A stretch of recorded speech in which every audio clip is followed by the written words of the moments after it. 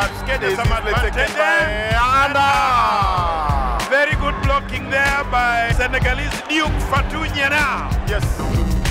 So I can see the Ugandans are ready to receive that service from Ruth Tekmetic there.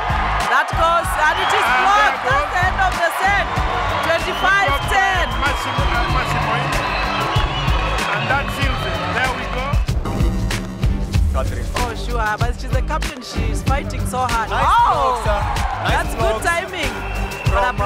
Blind attack from the Senegalese. Ruth Number nine. Ngetich. Yes. Number six.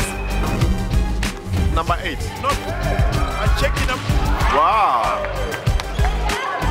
tight defense. Marine wall. Marine wall. You talked about Marine? Ah, Nice service by Wangeshi. By number six. Oh, number 10. Number 10, Senegal. Nice blocking. Yano Adama. She can't pass the two blockers. Nice blocking there by the captain of the Kenyan side. Tim, Look at that. Catherine, Look that at was that. Oh, a good block. Number 11. good timing. Catherine, that was a that, that was a good service, wasn't it, from the number 10 of the Seychelles? Oh, yes. and now we are having number two. Ah, jump. Number Ah, the game is over.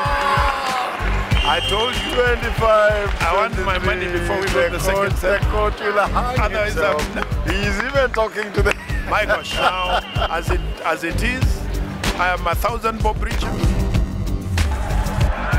The Kenyan captain, Adambi, and die. Oh, number 12. Number 12 has Mariema. Evelyn, Very bad block there. that was a very good blocking from uh, Yes, the Senegal. From Senegal, Mariema. Mariema plays in France, remember? She plays professional. Yes, she does. That was a But uh, unfortunately, the, or rather fortunately for Seychelles, there again, but this time also, back, the, back German. yeah, the, Marine wall. the Senegalese team have also are also getting their blocking act together.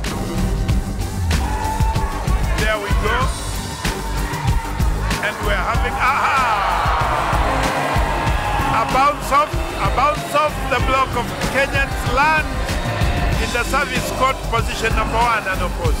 And that gives Kenya the 13-9 lead. Senegal.